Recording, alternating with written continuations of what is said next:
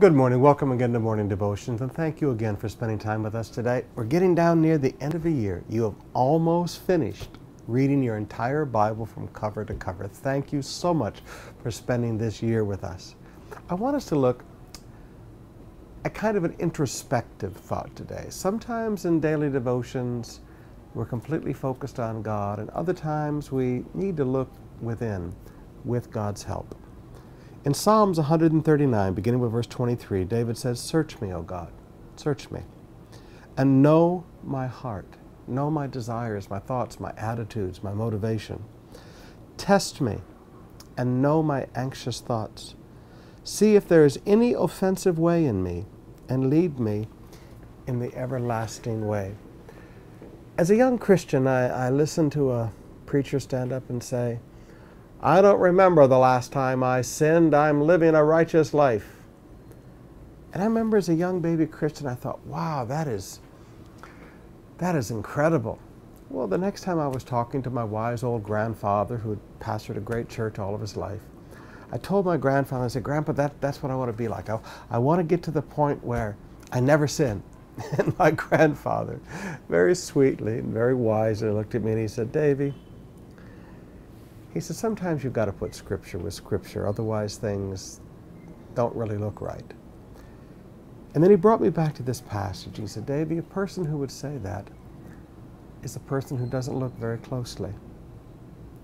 He said, Davy, when I was a young man, I could see everything. And, and he said, you know, it's amazing. I, I could see when something needed to be cleaned. But he said, you know, as I've gotten older, he was about 72, 74 years old then. He said, as I've gotten older, Davy, he said, I don't see the dust as well as I used to see it. And I don't see the dirt as well as I used to see it.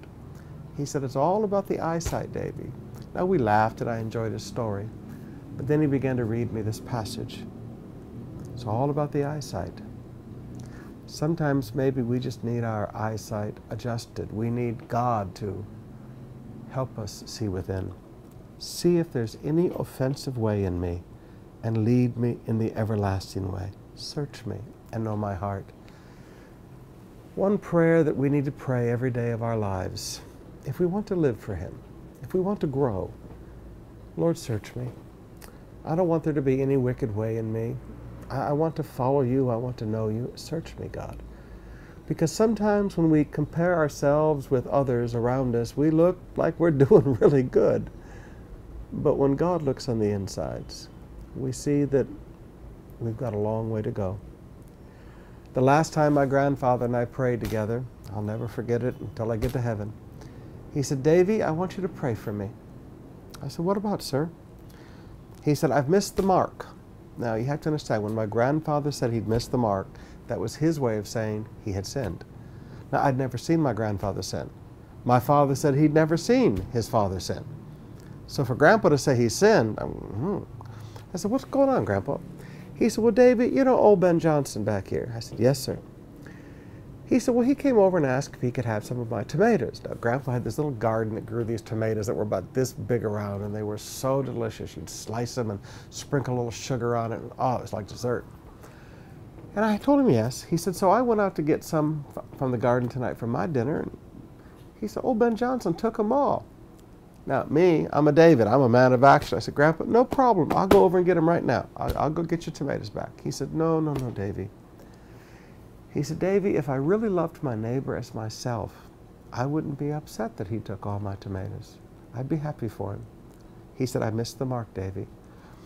I leaned back in the chair and thought, God, I've got so far to grow. I've got so far to go. You see, sometimes just because we're not drinking and smoking and messing around with women and doing pornography, sometimes when the loose dirt is gone, we, we think that we're doing so well.